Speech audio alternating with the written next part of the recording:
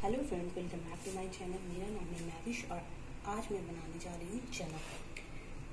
चना रमज़ान की स्पेशल होती है, हर घर में रमज़ान में ज़रूर बनता है।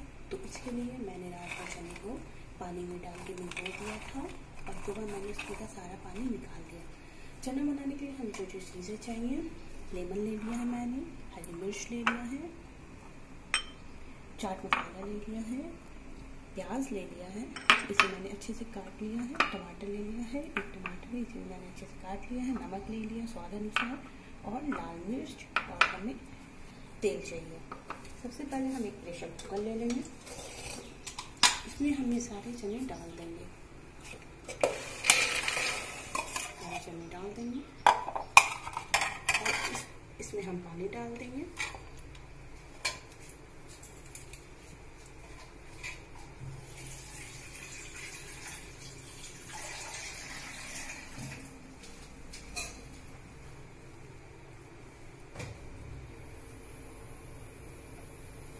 इसमें हम पानी डाल देंगे और इसे दो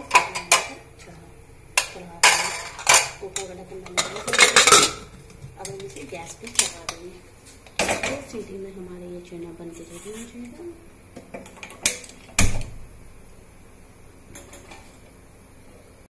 देखिए, ये हमारा चना हो चुका है। इसमें थोड़ी सी पानी है। वो से मैं सुखा लूँगी। अब हमें कढ़ाई चाहिए अब हमें कढ़ाई चाहिए। मैं इसको ऑन कर लेती हूँ।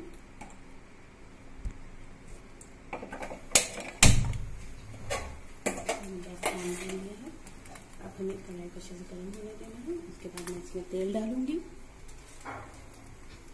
दो चम्मच तेल मैं डाल देती हूँ उसमें आधा नहीं डालूँगी, दो चम्मच तेल। अब हमारा तेल अच्छे से गर्म हो जाएगा।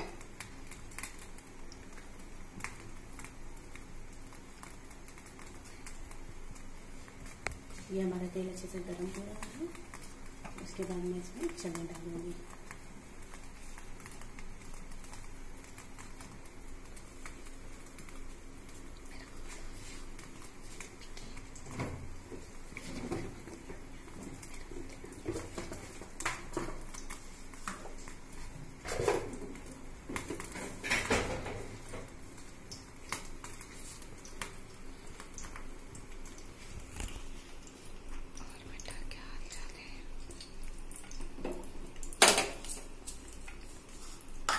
हमारे तेल अच्छे से गर्म हो चुके हैं। अब मैं इसमें जीरे डालती हूँ। देखिए मैंने जीरे डाल दी। सारी लाल हरी मिर्च मैंने काट के रखी थी, वो भी डाल देती हूँ। गैस को फ्लेम कम कर लेंगे। इसे चला देती हूँ अच्छे तरीके से चलाएँगे हम।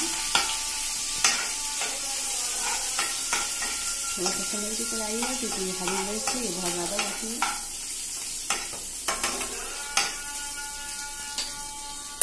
अब हम इसमें अपने हमने जो चने रखे थे डाल किए थे उसको डाल देंगे मैंने सारे चने डाल दिए थे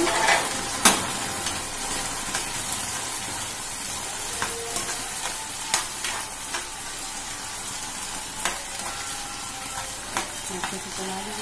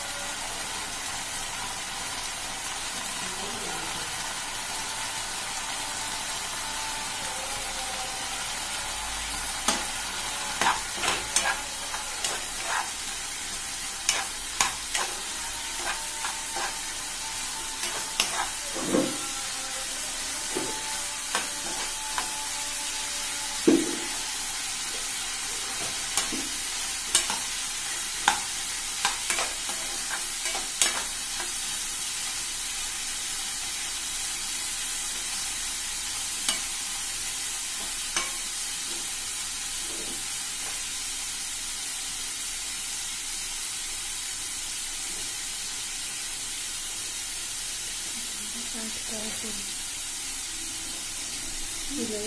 बन रहा है ना सब काटेंगे उसके बाद जब तक एडिटिंग नहीं है तब तक नहीं करेंगे ये वाले सब काट देंगे और सब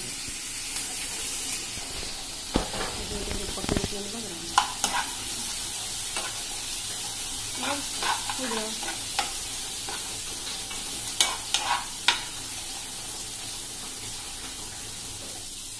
ये सब हो जाएगा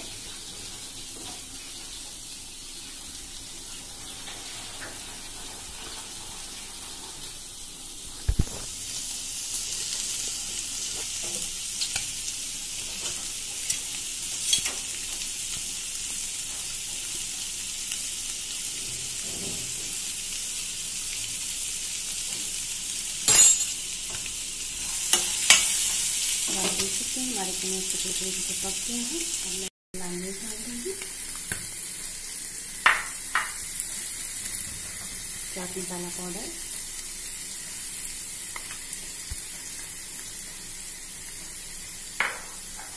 थोड़ा सा और नमक याद रखिए, नमक हमने चना गलाते वक्त भी डाला था इसलिए नमक डालने में थोड़ा सा ध्यान दीजिएगा प्याज जो हमने काट कर रखा था उसे डाल देते हैं। और लास्ट में टमाटर डाल देंगे इसके बाद फिर हमने नींबू रखा है काट के वो लेमन डाल देंगे लेमन डालने से खट्टे और ज़्यादा बढ़ जाता है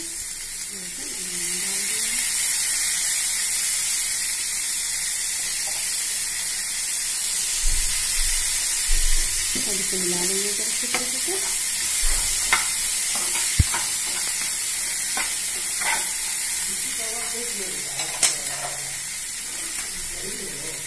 हमारा चना बन के है अब हम इसे प्लेट में निकाल लेंगे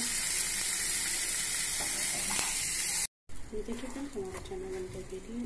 आप प्लीज़ ज़रूर ट्राई करें और अपनी एक्सपीरियंस मेरे शेयर करें। Thank you